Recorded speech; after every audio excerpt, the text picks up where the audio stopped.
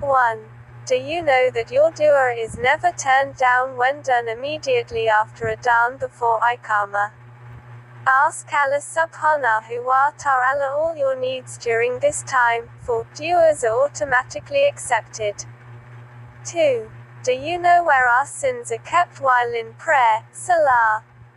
Sins are kept on our necks and shoulders, and when we bow down to make the ruku and sujud, they fall like how leaves fall down from trees. So stay long while in ruku and sujud. 3. Have you heard that whoever recites Surah Al Mulk every night, Allah will protect him from the torment of the grave? 4. Do you know that if you recite Ayatul Kursi after your five daily prayers that there will be nothing that prevents you from Jannah except death? 5. Do you know that angels ask Allah subhanahu wa ta'ala to forgive us whenever we finish each salah? So please stay long after salah, don't rush out and leave immediately.